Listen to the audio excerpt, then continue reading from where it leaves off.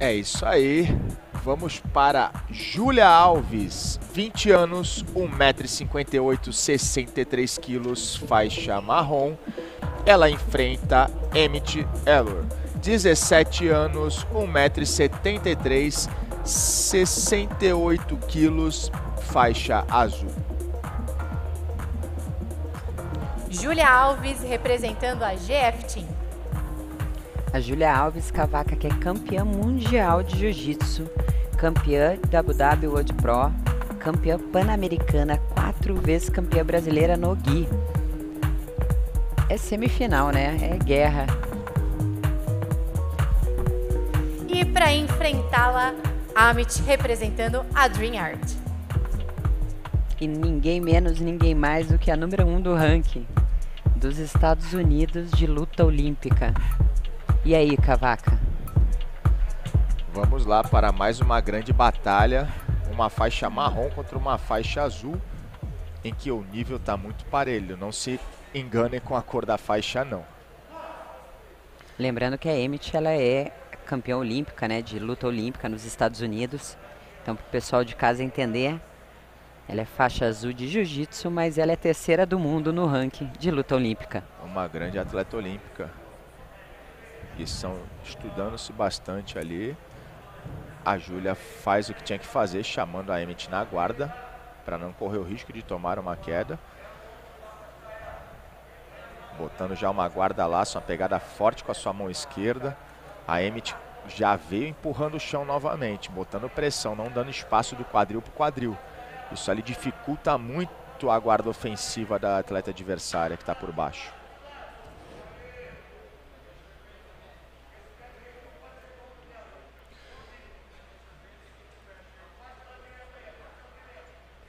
Presta atenção como ela não dá um pouco de espaço para o quadril da guardeira. Colada, né? Então ela né? está coladinha, sempre andando para frente. Isso é muito importante, mas é difícil botar esse ritmo de pressão o tempo todo, né? E, mas a gente vê o Mas a gente vê a pegada firme da Júlia também, a, a guarda-aranha dela bem esticada, né? Ela do- controlando ali manga, controlando a laço.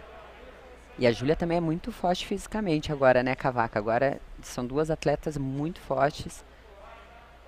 Realmente, vamos ver quem vai enfrentar a Larissa Martins na grande final do GP feminino.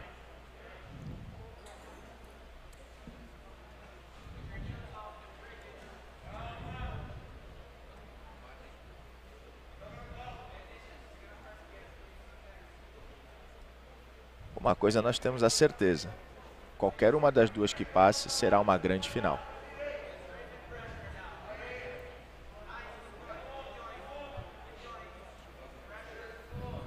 O Mika ali orientando a Emmett.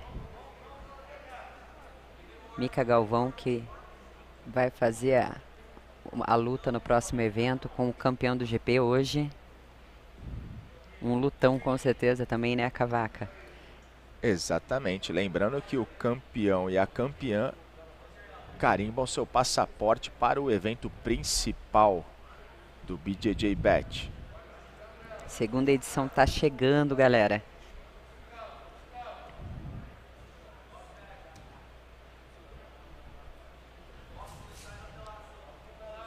As duas atletas se estudando bastante. A Emmett mais uma vez mantendo a sua estratégia de pressão. É, eu vejo que ainda ela, pela pouca experiência no jiu-jitsu, ela utiliza muito da sua base, da sua força para conseguir anular né, a habilidade das adversárias e vem dando certo. né? A gente não vê ela arriscando muito, né? são posições justas. Né? Ela é só uma faixa azul, mas eu tenho certeza que quando aprender mais ainda o jiu-jitsu vai dar muito trabalho para grandes campeãs aí. É, se a gente pensar que na faixa, né, vamos pe- pegar um campeonato brasileiro faixa azul, vai ser complicado, hein, Cavaca? Exatamente. Pegar as meninas faixas azuis aí da categoria dela, ela sai na frente. A Júlia controlando ali. A, a, a feição da Júlia é muito tranquila, né? Bem calma, né? Sabe o que está fazendo, uma guarda aberta com E o mestre Júlio também está muito tranquilo lá, então de repente a gente tá esperando um bote aí, hein, Cavaca? Um botezinho de triângulo, talvez.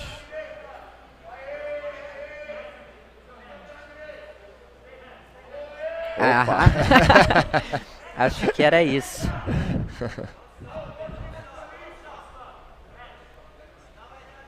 É, Mais uma vez ela cola no quadril ali, ó. Que que Aquilo ali dificulta demais, né? Sim, mas quando olha ela guarda-laço, do- a perna esquerda da guarda-laço, quando ela coloca aquele pé direito no triângulo e o peito do pé esquerdo sai debaixo da axila, tá pronto para ser ofensivo. Então vai aparecer bote de triângulo ou omoplata.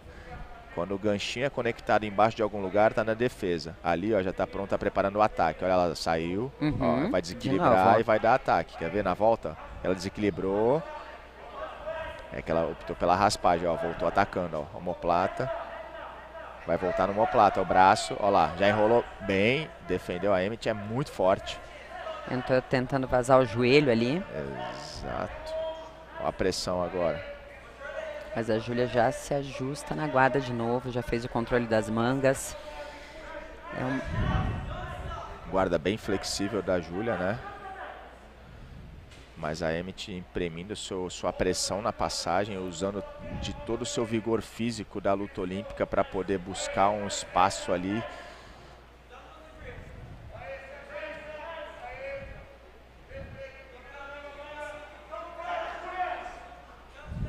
0 a 0 Cavaca, 1 minuto e 40 de luta.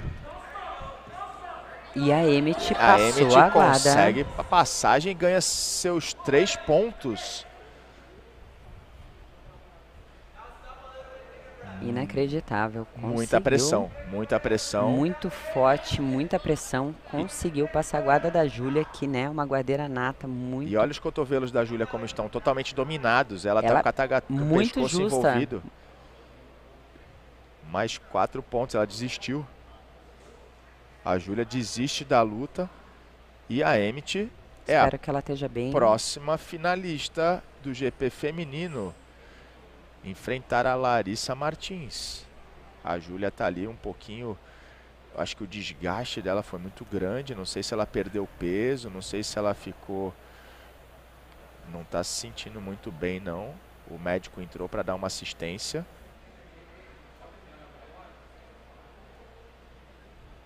Vamos aguardar um pouquinho para tá saber o que tá aconteceu. Olha só a pressão na passagem de guarda. Ela controla a perna esquerda da Júlia, né? E abre um leque, né? Com, Olha esses cotovelos dominados, a pressão. Ali, mas ali a Muito Júlia já não estava, já tinha entregue os pontos já, ó. antes da montada Antes já, da né? montada, assim, a montada foi Você vê que ela tá simples. bem abatida, ó. Tá, bem bem realmente. pálida. A gente vê que ela deu o máximo, realmente. Teve uma queda de pressão, provavelmente, né? Muita, fez muita força, foi uma guerreira, lutou bem É. demais. A Emmett realmente é muito forte, fisicamente muito explosiva. Olha a cara da Emmett. Inteira. A menina tá respirando pelo nariz, impressionante. E a Amit garante a vaga na final, enfrenta Larissa Martins. Que a Júlia se recupere e fez um lutão, né, Cavaca?